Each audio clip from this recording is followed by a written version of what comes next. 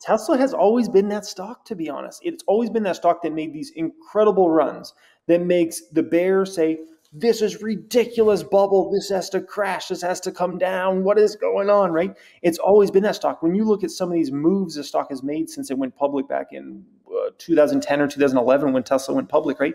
And you look back to some of these moves the stock made in past years, they're shocking. And they're like, that stock went up hundreds of percent in a snap of fingers, you know, a thousand percent in a matter of, you know, two years and just mind blowing. But Tesla's that sort of stock. It's one of those stocks that, you know, it's down and out for a bit maybe a year, maybe two years. It's not doing anything. It seems dormant, and then it just goes on this crazy run. And obviously, coming off of 2014 all the way through basically the first half of 2019, that stock didn't go anywhere for five, six years. You know, it went up, it went down, it went nowhere. And then it made this absolutely massive move. And so we could definitely be at a moment if the economy stays decent that we could be at a, uh, in another moment right now that's making this epic move that people are just going to be shocked by. And other stocks are like that. It's not the only stock in the market. Nvidia comes to mind, which is always obviously on top of everybody's mind. Nvidia's so overvalued; it's a bubble. They, you know, I hear them on TV. They've been saying that since it was 150. Then it was 200, 250, 300, 400, and plus now. And um, yeah, it, because the stock's going up so much doesn't mean always it's a bubble. It just means people are realizing it's a bigger opportunity than some folks realized before. Mm, definitely, and I think the charging infrastructure play is is kind of this moment where Wall Street or the general public's realizing, you know, this really could be a huge opportunity here in Tesla. So we've had these announcements from Ford and GM. Do you think all EV companies or all legacy auto is going to have to pile in and and join them here? Ooh, that's a great question. That's a great question. It's a potential. I don't think it's all going to happen right now but it could definitely play out over the next few years because the way I'm thinking about this is, especially with Ford and GM now wanting to jump on the super uh, Tesla supercharger network, is we know Tesla's always building more superchargers, and the way I view with Tesla building more superchargers is it gives them even a bigger moat in moat in moat around that business because they have even more locations, more uh, you know just chargers in a, in a particular location where you know it might have been at this restaurant or whatever they had four, then they have six, then they have eight, then they have ten, and so the more jump on Tesla Supercharge network, the more I think our others are going to also jump on because they're going to realize, damn, they just got them everywhere. They've got the most capability, and it's it's a bad financial decision for us not to jump on to the Tesla supercharger network. So Elon's are playing a high a high level game of checkers, or excuse me, a chess. Uh, Elon's playing a high level game of chess in this whole situation, and I think a lot of folks are um, not realizing uh, the level he's playing at, and it's it's brilliant, man. It's the it's a, such an Elon move. Uh, the, you know, seeing the Ford announcement, seeing the GM announcement, just made me say, "Gosh, that is such an Elon move. That is beautiful." Mm, yeah, I think it's quite a landmark moment as well because now Tesla is making service margins off vehicles they didn't even produce. I just I think that is crazy. Do you think this could maybe pave the way for Tesla to have FSD partnerships in the future? Ooh, that's a good question too. I think that definitely is a potential because that's another technology that let's be honest, almost every company is massively behind and it's basically just hoping somebody solves it so they can adapt that technology in their cars. Let's let's just be honest about that, okay? And so as Tesla has that, it's definitely I think it's definitely a potential um, that Tesla could go that route if they want to go that route. But you know, there's always been a lot of talk about these different kind of concepts and what Tesla could do and how much they want to partner with others and and all these sorts of things. And I remember there used to be talk about the skateboard, like basically Tesla selling the bottom of a car to all the other auto manufacturers and auto, other auto manufacturers putting their kind of bodies on and, and kind of doing things that way. So there's a lot of capabilities. You know, Tesla doing major partnerships for batteries potentially in the future. There's so much there. It's just a question of what does Tesla want to actually give up versus not. What is what does Elon really view as core technology that he's just absolutely not willing to partner with versus it makes financial sense. And you know, it's not uncommon for companies to partner with even their competition. A good example of this in an industry is Samsung. You know, almost every single time you buy an iPhone, you're actually giving money to Samsung because usually there's different Samsung components in an iPhone. And so I think, you know, that's always been a kind of a brilliant thing that Samsung does because they're in many different business lines and they help a lot of other companies succeed, right? But it's it's funny because it, I'm almost viewing Tesla as like it's Apple, but it's also Samsung, and so it's kind of a, a beautiful thing they got going on there. But um, yeah, I, the the potential there is just massive for them to partner if if Elon wants to go that route. When you think about FSD from a financial point of view moving forward, obviously the robo taxi opportunity, it's fun to run the numbers, bit of a pipeline dream. And, you know, we know from your perspective, you don't necessarily model all of that. But do you think from a level four or a level three autonomy point of view, that's kind of certain we're going to be getting at least around there, that's a massive subscription opportunity, especially when you consider all the safety features which could come along with a car operating high level three or level four level. Do you think that's kind of in the bag for Tesla and that alone will be a massive revenue and profit driver moving forward? Yeah, there's no doubt. There's absolutely no doubt that there's going to be a major profit driver specifically even more so than revenue in my opinion because obviously you know the tech's built out and then it's just like straight profit for tesla when they sell that. But what i think is going to be bigger for tesla long term is what i think is going to happen is i think the majority of people that use fsd true fsd right the whole deal the holy the holy real deal holyfield that's going to be folks that in my opinion are going to be paying a monthly fee for that to use that and right now, I believe Tesla charges, I think it's $199 a month to have that capability. I really think it could be extremely compelling at 99. I know a lot of people have trouble paying that 199 a month uh, because obviously some people just have the money like that. It's like, who cares? Like, but a lot of people, the masses, 199 a month might be a little much. So if, if Tesla could ever bring it down to actually $99 a month, I think this would be almost a no brainer where almost every single person that has a Tesla would be like, less than 100 bucks a month to have true FSD in my car, I'm going to get that. And that goes right onto that services line item again. And that's a recurring revenue stream. And the most beautiful business models in the world are ones that have recurring revenue streams. Amazon Web Services, Intuit, with what they have with QuickBooks, right? TurboTax products. Uh, Adobe, what Adobe has in their product suite. These are some of the best business models in the world. Apple, even because of their services business, and you know, always just you're recurring. I pay for Apple Music every month and Apple Cloud and all this different stuff, right? And I don't even know I'm being charged for it's ten bucks here, twenty bucks there. Those are the best business models, and so I can see with Tesla, they're I think that's going to be the bigger opportunity because not everybody wants to dish out of pocket $7,000, $10,000, whatever, for this FSD that they haven't even probably really tried that much that they're like, I don't know about this. The, the people that are super like into technology, they'll get it and have a lot of money, right? But a lot of other people are like, ah, $7,000, $10,000, $12,000 extra. I don't know about that. Oh, 99 bucks a month if they ever did that. That is a much easier sell because then you're just trying it. Um, 199, you know, eh, 299 ah, so it gets a little tough one thing i definitely learned as tesla were lowering their prices is the lower the price there's then an exponential increase in demand this is for the the car prices elon says the value of fsd is high that's why he's pricing it high but i think you're right there i think moving it from 199 to 99 could like that could like 10x demand and then that makes financial sense at the end of the day, Elon will always make the best decision long term. But my thought is it's got to be the value proposition to people has to be so compelling. A lot of people do still like to drive. And a lot of people feel like they probably don't really need FSD that much. So, like every once in a while, it might be nice. If you live in LA, you might love it. If you live in New York City, you might love it. A very congested city that has a lot of traffic. But for a lot of people, they're like, ah, I don't know, man. And so it, the, the value there has to be so compelling that makes people say, you know what, this is amazing. I'm willing to pay for this. And um, that, that's that's that's a that's when you have a true success. And you look at even Tesla's vehicles. Tesla gives you the best bang for the buck for any auto manufacturer in the world now at this point in time. When you look at what they're doing with Model 3, Model Y, the value is so compelling. And so it doesn't really matter what what Elon thinks or what we think in terms of this technology is so amazing. You should pay a, a lot of money for this. At the end of the day, it comes down to what is a customer willing to pay for that? Are they willing to pay three thousand dollars a year to utilize that technology, or are they willing to pay twelve hundred dollars a year?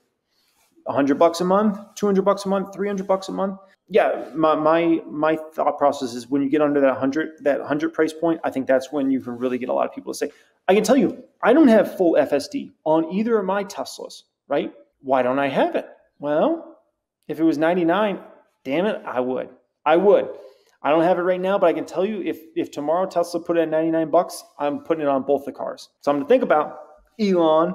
It's a parallel universe.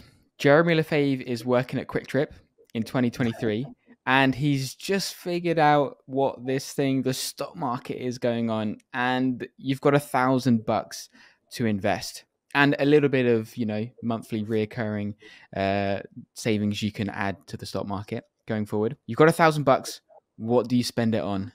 So first thing is for the newer investors i mean income expenses you, you mentioned it have some recurring revenue like you've got to have more income than expenses it's such an over it's it's one of the most important things to being a successful investor, but it's so overlooked. If you don't have more income than expenses every month, you've got to get fix that ASAP. If you want to be an actual stock market investor, because there's no worse feeling than stocks going down, the market going down, you seeing a great opportunity, not being able to buy that opportunity because you've got more expenses than income or you've got nothing at the end of each month. You better have money. Okay. So I think that just needs to be said off the front. So if I'm a new investor, the thing I would focus on is value stocks first, which is the same route I went, value stocks and dividend stocks.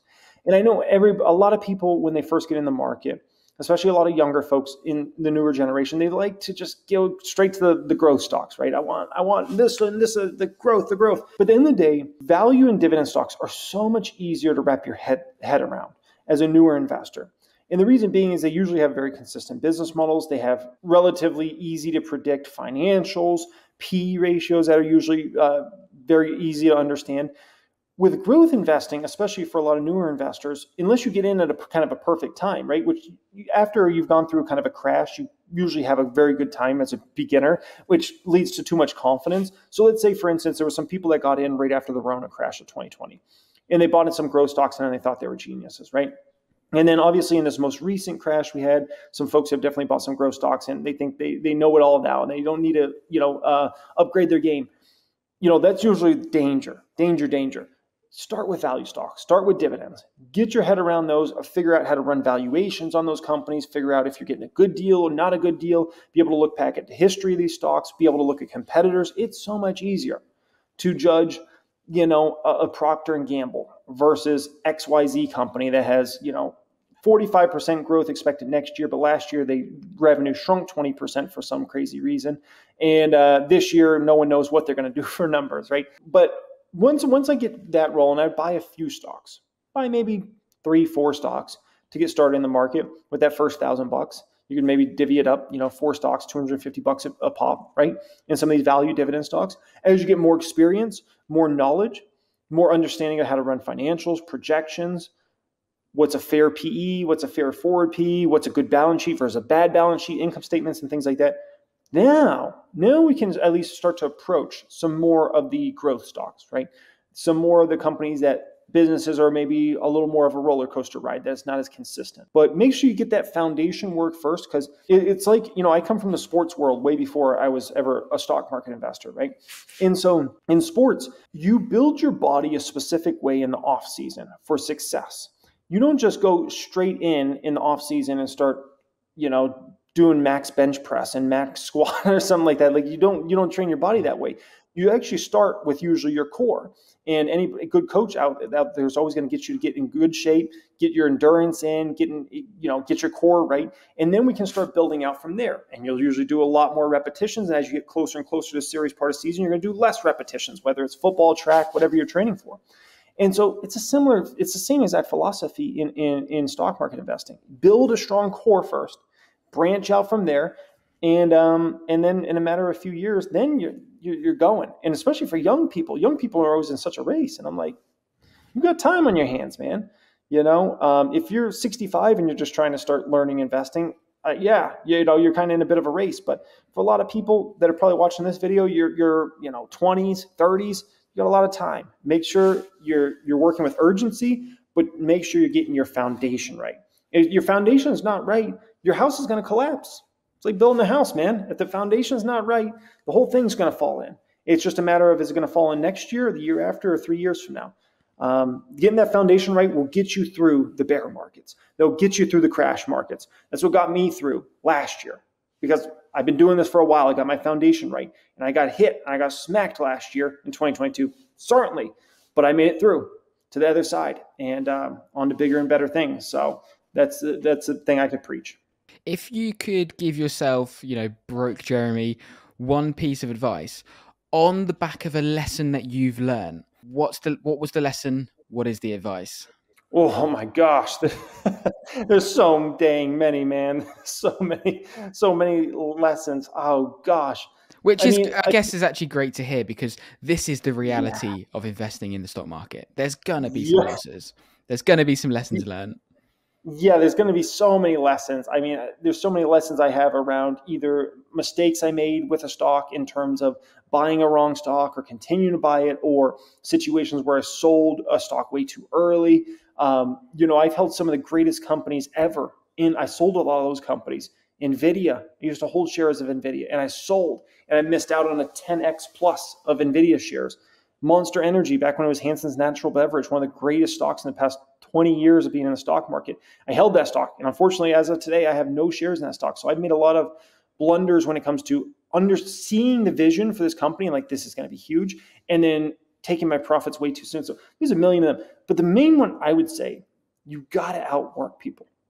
You got to outwork, you know, the world's competitive. The ones who always win are the ones that outwork their competition. If you are not willing to outwork your competition and do things that other people just won't do, you're you're not going to advance. And, and, I've seen it consistently just in my own life. Never mind like friends and peers, and I've seen in their lives, but I've seen it in my own life. Like in track, I always had to outwork everybody in uh, when I worked at Walgreens, I outworked everybody so I could get at least good hours at my store. At QuikTrip, I outworked everybody. A lot of people didn't want to get up at 4 a.m. or they, you know, sometimes would slack or whatever. And I just made sure I grinded and gave it 100%. And I'd get promotions. I get the best bonusing stores, so I had more money to put in the market. Stock market investing, looking into stocks, researching the stocks. You, you can't slack on any of this stuff because you will be beat. And um, you know, I've obviously been thankful to have a tremendous amount of success on YouTube. You know, four silver play buttons. There's only one other finance creator in the world who has uh, four in the finance community that has four silver play buttons. He's my neighbor, and we're the only two in the whole world that has that are in the finance community that have four silver play buttons. And it's just grind, man. You've got to outwork everybody. A lot of people, you know, want to take a day off. Like, ah, oh, hell with this, man. Um, and you can do that, and you can still have a level of success you just got to understand like if you really want to push it you, have got to you've got to dig places in you that just other people are just like oh no they're crazy man. I'm not willing to do that. And uh, and that's when you have the the the most success i guess you can say and when you can look back at yourself and be like damn i'm proud i did that. And i can tell you there's so much hard work i put in my life in different areas that i'm like i'm so happy i did that because if i didn't do that i would not be here today.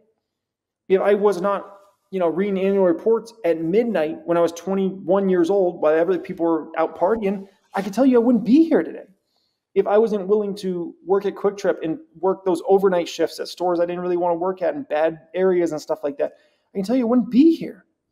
And so when you look back on your life and you realize where you're at then at that point in time, and you look back, it's like a full circle moment where you're like, damn, man, like, thank you. Thank you for putting in that grind because that was that was worth it that was worth it. I haven't met somebody yet that didn't work their face off and was like, oh, it didn't pay off.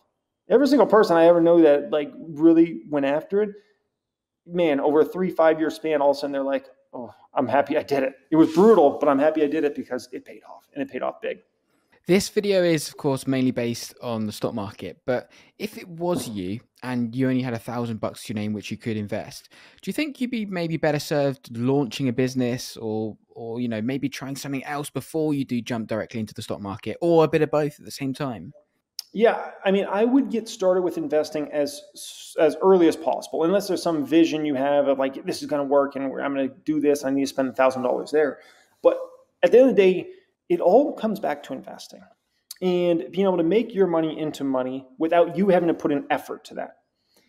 As any single as any person that has been successful in their business, what they wish they knew was how to invest. Because then imagine you build a successful business, okay? And imagine, you know, you you sell it for five million dollars. You have this great exit. Okay, I made five million dollars. What do you do with the five million dollars? You put it in a savings account now do you try to invest it and make your money into money, right? Are you stressing because now you're like, damn, I don't know how to invest? So at the end of the day, I would always get started with investing as early as possible. Don't use, you can do a lot of things. Like people are like, well, I can't focus on this. Yes, you can. I used to work three jobs, run for my college full time, and and take I don't know how many credit hours, a ton of credit hours in terms of classes, and all that stuff, and still had a social life, and still did stock market. Like you can freaking do it. And so I would say to everybody out there, like get rolling with it ASAP. Don't make excuses. People love to make excuses. It's just it's just an excuse. Just understand. Every time you say I, I don't have time right now, baloney. You got freaking time. You can make the time. You're not you're not you're choosing not to search for the time. And that's a choice you can make. Just understand the only person you're fooling is yourself. Anybody that really goes after it, yeah, we don't make excuses like that. We're like, we'll find the time. We'll we'll make it work.